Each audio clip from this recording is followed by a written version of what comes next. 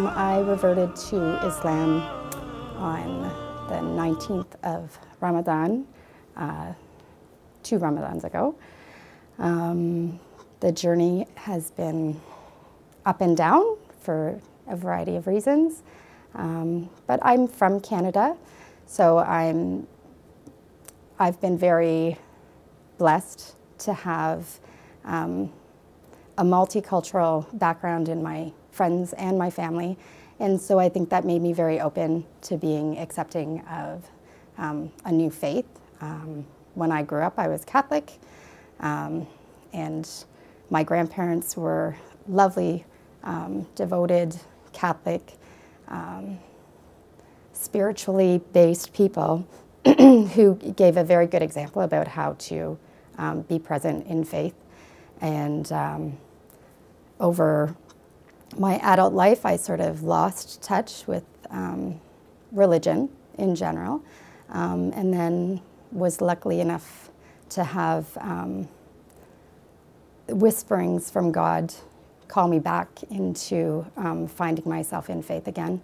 And after searching both the Bible and other, um, a variety of different religions, um, then I was able to make a an educated and a very conscious decision to follow Islam. I can't say that I ever had a negative um, image of the Prophet. Um, I was blessed to have um, Muslim friends growing up in grade school here in Canada. Long ago, they were one of the, I mean, it was one of the first Muslim families to come into my area. And she quickly became one of my best friends and, and still is one of my good friends to this day. So learning about the Prophet's family, on the other hand, was eye opening to me. And to think of, sometimes I, I reflect on the knowledge that the Prophet had of what was going to happen to his family, and it makes me sad. It makes me think, you know, as a grandfather, knowing what's going to happen to those, to his grandchildren and, and their children. And it, it makes me astonished about his level of peace and his level of compassion and his sheer brilliant and calm nature because for someone to be able to see that far ahead and know what was going to happen and still be willing to forgive and still be willing to um, fight and it just it it's inspiring and it amazes me. I was introduced to um, the stories of Karbala um, first through some videos by um, Syed uh, Ammar Nakshawani. Um, when I was preparing to um, accept Islam, um, I had a wonderful friend suggest different lectures to look at, and one of them was the stories of Imam Ali. And I, I adore Imam Ali. I think that my entire life I've been seeking justice, and so when he was the first um, personality that I was introduced to, I, it, it, I mean, it solidified my faith in, um, in this religion.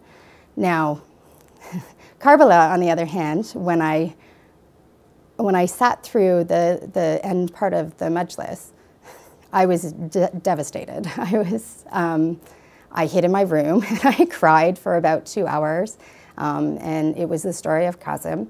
And um, I just, it was too visual for me. It was overwhelming to me to think that there would be any human beings who would be so willing to treat um, a child in that manner. It just absolutely broke my heart. Um, and as a, maybe as a mother, maybe as a teacher, I didn't, I don't know. It just, it made me struggle to um, understand humanity.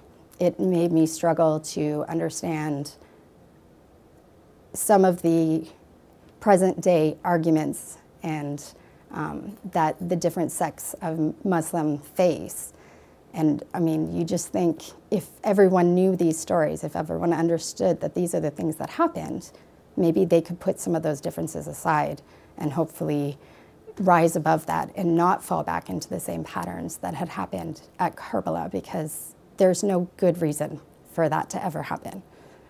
Um, so I was lucky enough to also watch some um, videos by Brother Khalil Jaffer, and um, he would he was telling the stories of um, uh, Abbas and and of course um, the final days for um, Imam Hussein, peace be upon him, and it just made me feel it. It brought back this sense of purpose for me because while I always believed in justice and I always believed in truth, and so I could immediately, um, you know, I could immediately understand um, the teachings of Imam Ali, peace be upon him. When I learned about the stories of Karbala, it gave me a reason to take action. And I think that that was something I was seeking because for him and the group of companions to have that level of courage and to know going in that the outcome, there was going to be no, there was going to be no outcome other than what had happened. And they knew that. They walked into a situation where they knew they would be murdered. And that's a courage that I hope to have someday, to be able to face things head on and not, um, not fear what, what the lasting effect would be on them. It took me um, a little while to tell my extended family. I, I, my mom lives with me, alhamdulillah, so um, you know, I was a little nervous talking to her. She's Catholic. Um, and telling her and my two children was, um, it made me a little bit nervous, but I've been blessed with the most understanding and um, positive family that anyone could ever ask for. And my mom, you know, we only eat halal in the house. We, um, you know, there's no, there's no questioning about what, you know, what, why am I doing this? It's, that's never been a question that's been asked in my home. Um, my children will watch me pray, or, um, you know, my youngest daughter has come to um, some of the iftars for Ramadan and enjoyed it. And so we're very open, and I've always raised my children to find their own faith as it was, anyways. And so they are witnessing their mother do that, find, their, find her own faith. Um, my extended family, um, I decided to inform them via email, which, which for me was the safest way to do it because it's a very big family and I wanted everybody to hear it at the same time. And they were all very positive. I had some of my cousins ask questions and said that they had, um, they had themselves gone on, you know, th they've looked for at different religions to seek personal satisfaction um, from religion. Um, I have one aunt who only has the best, in, you know, the biggest heart. Um, she questioned, you know, politely and kindly, and you know, we had a conversation about the reasons and not the stereotypes of what she understood from the media. And I think that it brought about an awareness to her. And the fact that they realized that I'm not a different person. I'm the exact same person that I was. I'm just, you know, I'm learning to be a better person every single day by following this religion. Um, and so I think that she appreciates that. And I, you know, I don't force it on them any more than they force, you know, their religious beliefs on me. And we can have very open discussions about things and be very um, respectful of each other. So it's been overall very positive. It is different, and it takes a lot. But I think for me, it's the emotional difference. It's when I hear. It doesn't matter if I can fully understand if it's something in Urdu, um, even though I'm not understanding the words. You can feel the grief. You can feel the loss um, and you are part of this community that is suffering the worst kind of loss, knowing that we have got to, as a community, step up. We have to follow um, the example of um, Imam Hussein and his um, companions. We have to take action and try to teach other people um, about what it means and, and the importance of his role on this, on this earth.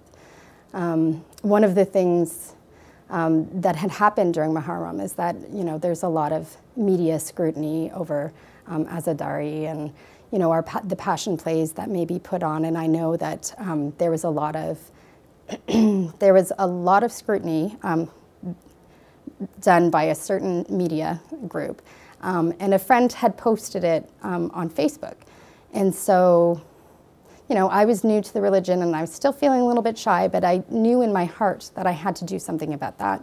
Um, so I, I messaged her and I, you know, I said, I need you to take that off. I need you to pull that, like, erase that post off your Facebook page. And, you know, she questioned it and she wanted to know why. And I said, because you're taking that entirely out of context and you're showing, you know, it was, it was like a, you know, a, a headline of, um, local mosque is teaching children um, to, I, th I, think it was teaching children to behead.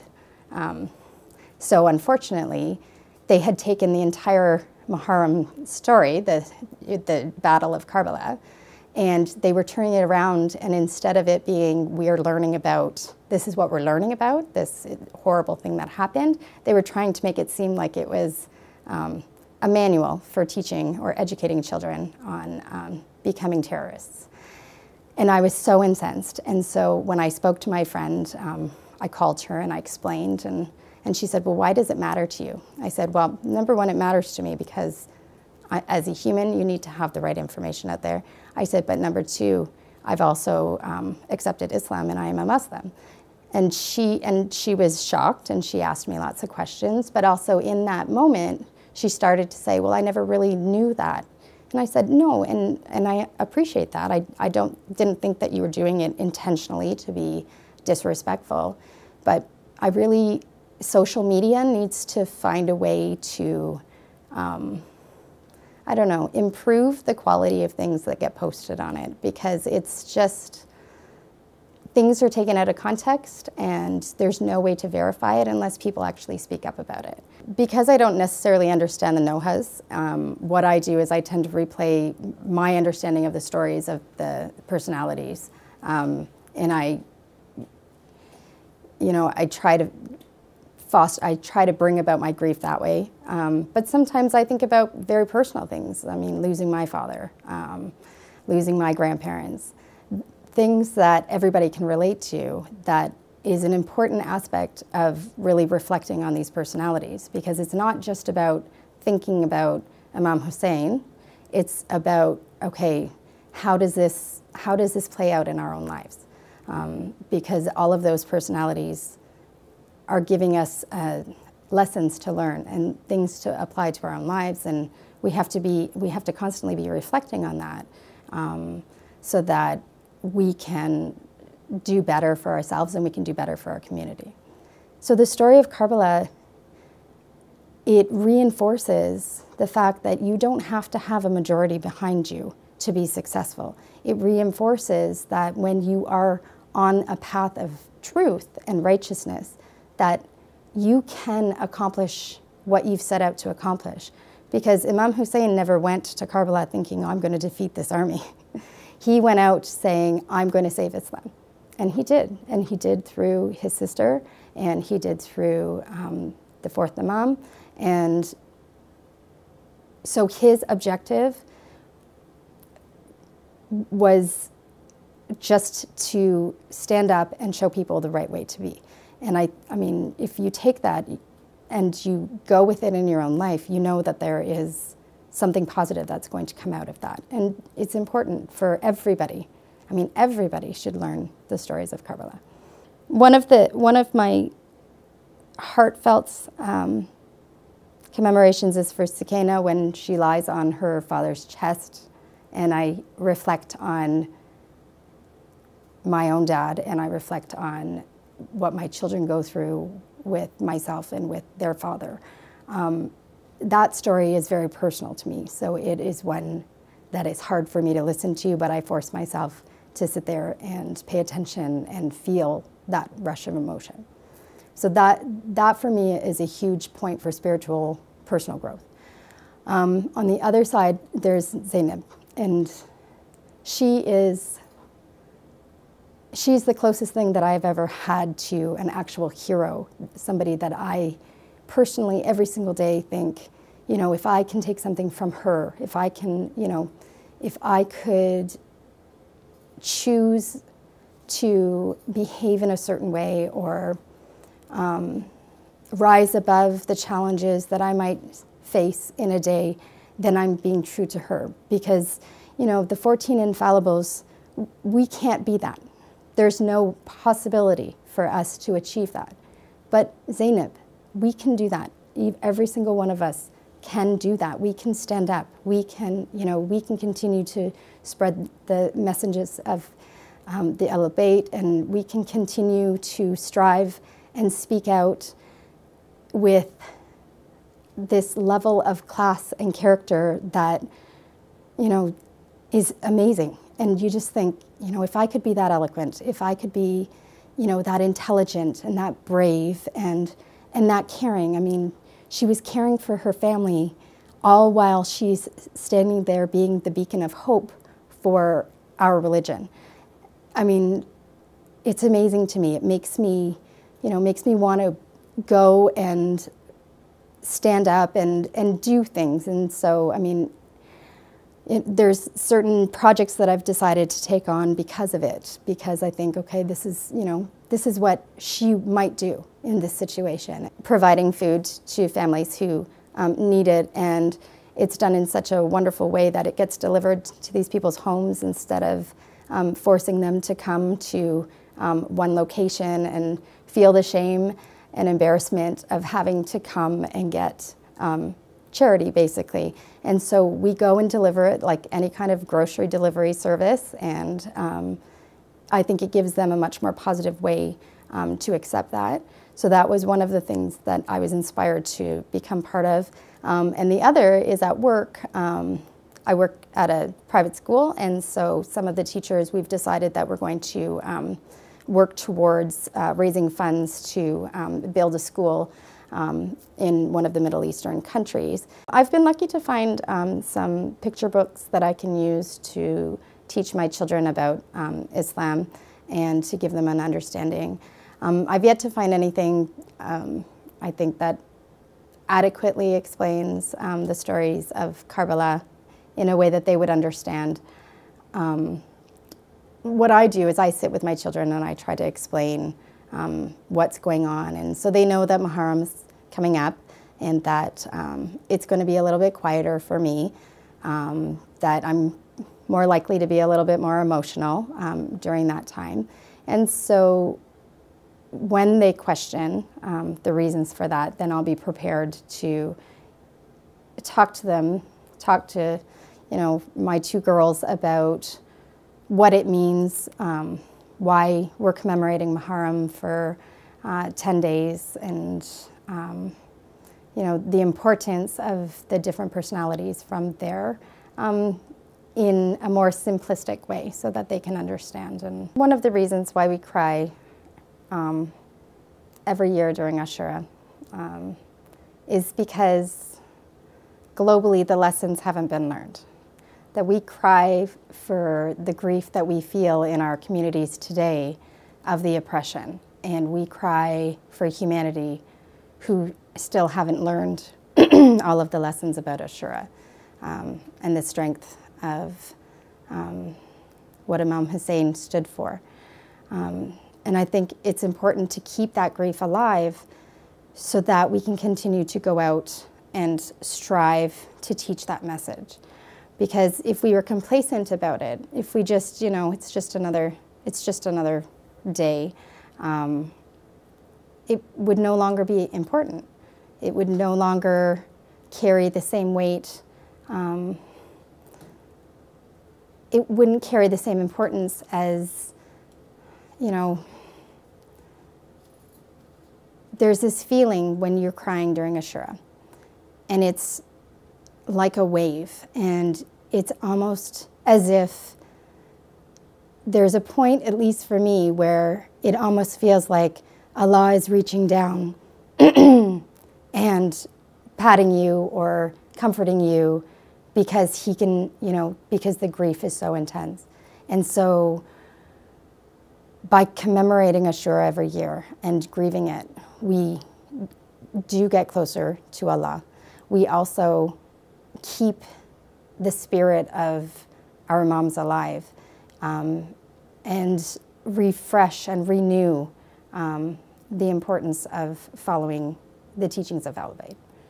I've, I've made the decision to go into this different culture, to you know, integrate myself into this different group of people. It's my responsibility to make sure that I'm educating myself and understanding what's going on.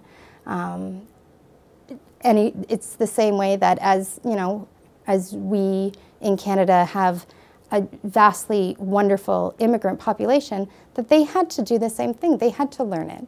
And so I think maybe having the right attitude about it and being open to learning um, helps because the sisters, you know, they help when they can. And I would never want them to feel like they should have done more for me because honestly, they, they do so much.